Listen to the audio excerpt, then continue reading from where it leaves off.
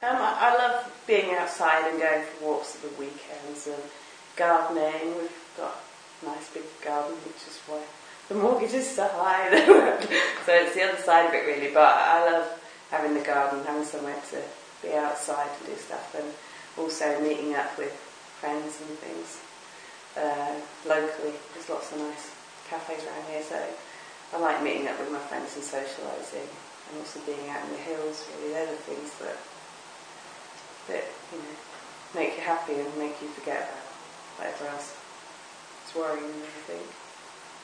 So being able to live near somewhere where you can escape and get away is that? Yeah, Manchester's brilliant for that, obviously, because we're surrounded by hills and then we can go to Wales and, and then having the garden as well if we're not going to go on a big trip out somewhere.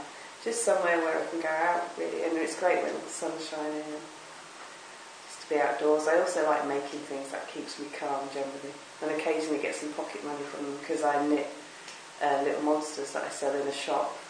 So it gives me a little bit of money to go and socialise with. So that's good. I like doing that.